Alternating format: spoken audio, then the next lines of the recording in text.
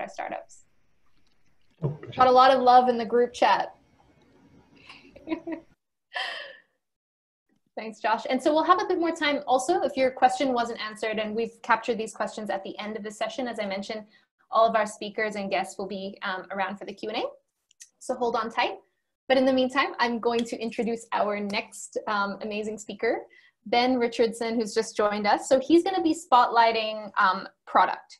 Um, so Ben is a serial entrepreneur and has a wealth of experience from across the entire spectrum. Um, he's also re more recently founded um, a startup lab called Equinox Labs, and he's going to give us a bit of a sneak peek and kind of deep dive into the back end and dissect the back end um, of his latest startup with us in this session.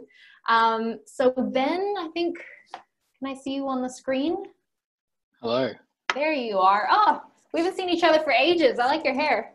Oh, well, yeah. So a bit of context about that. A lot, Melbourne is in a, a, lockdown. We've been in lockdown for about six six months. It's like we've got curfews. You can't leave the house. There's no hairdressers. So that's right. You're rocking it. This you're is what happens. I haven't had hair this long in like a decade and a half since I was in school. oh, welcome, uh, welcome. It's so glad you could be here to join us, and really excited about your session on product. Um, so we're gonna, uh, I'll hand over to you. So feel free to sh uh, share your screen if you like. Um, and we'll call, and at the end of 15 minutes, we'll have a bit of a Q&A together. No worries.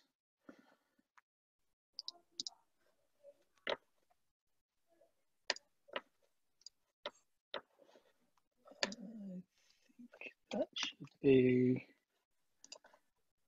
how's that looking? That looks great uh, and present. Is that still looking good? Yep. Perfect. Excellent. Okay, cool. So, um, yeah, so Song Songy asked me to to kind of do a bit of a deep dive on product, and um, and it's it's a lot to cover in fifteen minutes. Um, so I, this is a pretty much a combination of um, a little bit about my background and all of the kind of a collection of I guess the compound learnings I've had over the last decade of, of building kind of commercial grade products um, into my latest venture. So a little bit about um, my background. So I've done a lot of stuff. I've sold two businesses to date. I um, co-founded and ran the PwC SaaS Ventures division, which was the first globally that ever done, where we built SaaS products that took took our services direct to market. Um, bottom left, that's me with the Prime Minister, where I like manage a federal health um, project um, via a private entity. Uh, I was, I was a, that was a very strange experience. I did not know how to shake him. I went to like give him a hug, and he's like, "Put it here, don't hug me." um, so yeah, I've been around the block, um, and so um, today I'm going to kind of run through a couple of top level items. I'm going to approach this from a perspective of uh, how I kind of like to create. I, I don't actually when I'm, when I'm going out to create a startup, I don't think I'm gonna. I don't go kind of tackle it from an angle of I'm going to create a great product. I'm obviously going to do that, but I like to tackle it from these four perspectives, um, and then out of that plus the compound knowledge of how to build good products, it kind of all kind of works together. Um, so I'm going to kind of talk a little bit about the latest product that I'm doing, which is called COVID Comply. In Australia, we've got these rules where you've got to scan QR codes, or you basically got to give over your contact information every time you enter a, a particular venue. Um, and staff have to do like health check questionnaires. Uh, it's it's it's very kind of um, quite complex from a privacy perspective. And in Australia, they put the entire onus on back on the businesses to make sure that they're collecting details. Um, so I saw a kind of gap in the market, and I thought I could rapidly pull together a product and, and get it out to market and, and, see if I could help a lot of people. So in here, I'm just going to be completely open and feel free to follow through with um, any of this in in the um, in, in, the FAQ in the FAQs afterwards.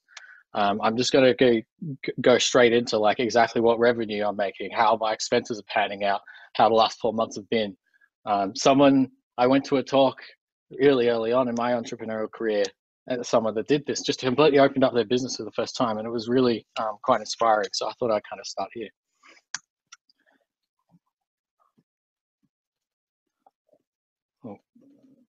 uh, Apple is sending customers to my phone and a computer. All right. Um, okay, so for for a thing like this, you kind of need a pretty big team.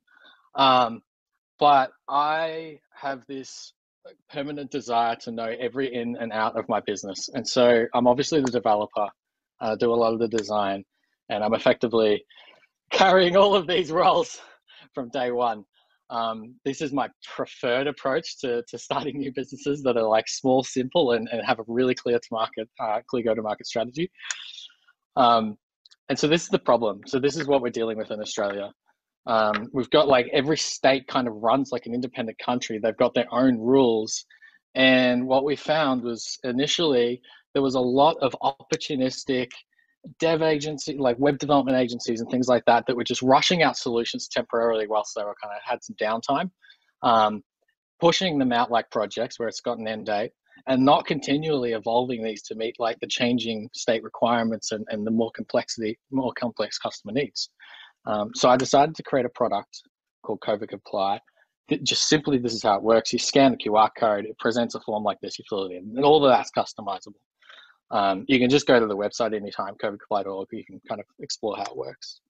Um, from a pricing model perspective, this is how I priced it. And this is all just context for what we're going through next. Um, I wanted to make it really simple um, because they don't want recurring payments. So it's like no recurring payments, one-time payment, less than $100, unlimited check-ins, no tiers or complexity or added cost. Um, and that's kind of how I approached it from a pricing perspective. So in terms of the revenue, this is what I've made in the last four months. I've made 46K rev. Um, and halfway through that, I changed the pricing from 12 months to six months. It was previously 12 months. Um, so the analyzed version of that revenue is about 76 grand. Um, so this is about four months worth of work. Um, so here's like a, a, printout of, of my Stripe balance, so you can see I'm not I'm not kind of messing you around. This is like legit, uh, legitimate money. So, um, and that's the analyzed revenue. So in terms of how the expenses work, um, it's a really really cost effective business. Um, if if you're quite frugal with how you spend your money and the infrastructure you pick, uh, and and the hosting providers that you provide, it it can get um, it can get really really cheap. To start this to grow, I hired people on Upwork, like people from the Philippines on Upwork, um, and to effectively scrape ten thousand email addresses uh, for for restaurants across Melbourne, and um, and that cost me about three grand to to get it to get that launched. Um, the conversion rate was absolutely miserable. I converted like 120 customers. Um, so it definitely did not break even. Um, but since then, I tried about 300 bucks on, on Facebook and I just couldn't get it right. And I got all these people saying how this service should be free. And I'm like, well, I don't know. Sure. the government should provide it if it's free, but I've got, I've got expenses to cover. Um, and so it's all been word of mouth. So I focused purely on making the product as seamless as possible to get them uh, to, to onboard someone uh, and to and get it in straight into their business as, as fast as possible. Um, and through that, advocacy carried the business. Um, I've just tried, uh, I've just spent a large amount of money on PR service. I, nothing's happened from that, so I don't know if I'll do it again, but I'll see. So this is what it kind of cost me to to run um, in terms of the servers. So I'm processing an enormous amount of data, but it's quite cost effective. So this is a tool called Heroku, um, which is like a layer on top of AWS. It, it's a platform as a service. It manages a whole bunch of stuff for you. One of the key takeaways of, of this, um, I guess, is um, keep your pricing model. I, I recommend keeping your pricing model as simple as possible. People hate subscriptions. They're really dangerous.